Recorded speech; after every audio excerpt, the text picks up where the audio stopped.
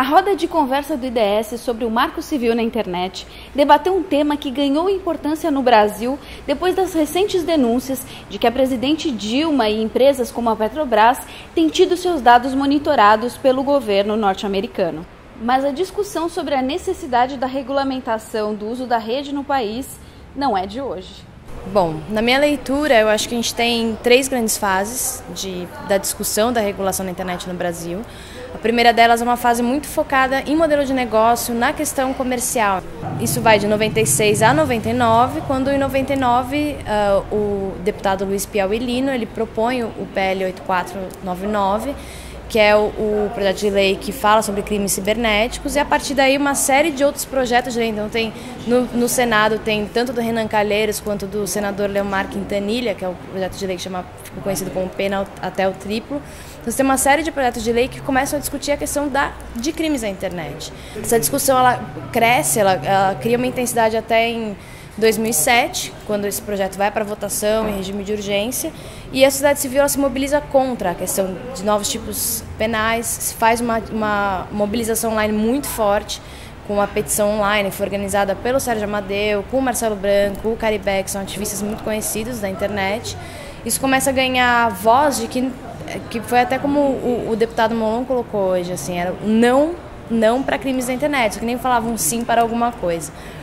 No mesmo ano de 2007, o ministro Mangabeira Unger ele vai ao, ao IGF, que é o Internet Governance Forum, ele faz uma fala, enfim, muito estratégica, muito bonita sobre o futuro da internet no Brasil e da governança na internet. E o Ronaldo Lemos ele publica um artigo na Folha falando sobre o marco civil da internet. O presidente Lula vai ao FIS e ele fala diretamente para o ministro da Justiça da época, o Tarso Genro, sobre a criação de um marco civil da internet. Aí se inicia uma nova fase entre esses anos de 2007, 2008 e 2009, que é a briga pela luta de direitos na internet. Para até esse ano, que eu acho que hoje em dia, da forma como está sendo vocalizada pela presidência da República, a discussão essa discussão da internet, da regulação da internet, ela se gruda a uma outra discussão que é desenvolvimento democrático e desenvolvimento econômico social, que é o discurso da Dilma no, no, na ONU, que ela faz, enfim, pós escândalos de espionagem digital que o Snowden fez, ela fala, ela, ela junta essa discussão à discussão da agenda para o desenvolvimento. Agora, o projeto de lei que pretende regulamentar o uso da internet entrou em votação na Câmara em regime de urgência. O projeto tem três pilares. O primeiro deles é a neutralidade da rede, ou seja, a garantia de que os nossos dados que trafegam pela internet, tudo aquilo que a gente quer ler, acessar, baixar, serão tratados de forma igualitária, isonômica. É uma medida que democratiza o uso da internet no Brasil proibindo qualquer tipo de discriminação por razão comercial, política, ideológica, religiosa. Todos devem ser tratados da mesma forma na rede, todos os pacotes de dados. Segundo pilar, a proteção à privacidade do usuário, ou seja, a proteção aos nossos dados pessoais, aquilo que a gente clica, acessa, baixa. Isso é direito nosso é, escolher para quem isso vai ser revelado ou não. Nós não aceitamos mais que os nossos dados sejam bisbilhotados, gravados, analisados e vendidos sem que sequer a gente saiba disso. Por isso, o Marco Civil proíbe essas práticas, protegendo a privacidade do internauta brasileiro.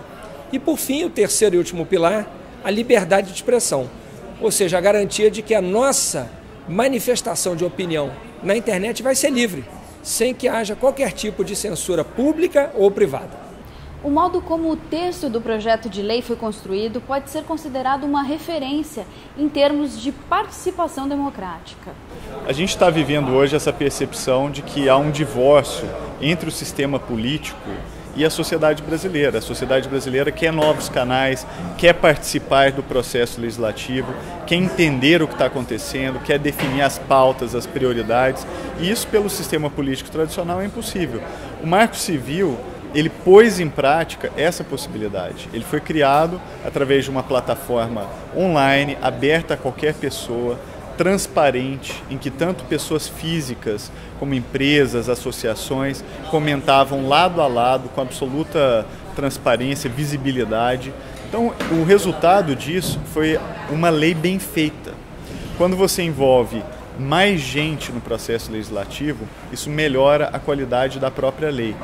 Há, no entanto, ainda a possibilidade de que o projeto seja descaracterizado na Câmara. O ponto que tem impedido a aprovação do projeto é a garantia da neutralidade da rede. Ela é boa para todos, para aqueles que colocam conteúdo na rede, para o internauta que tem a sua liberdade de escolha protegida, preservada, ele acessa o que ele quiser na mesma velocidade pela qual ele está pagando.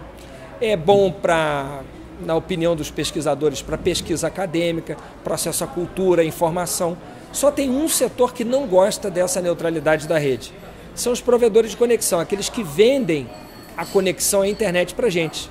Porque eles gostariam de poder cobrar preços extras cada vez que nós acessássemos música, ou vídeo, ou redes sociais, em função do tipo de conteúdo que venhamos acessar.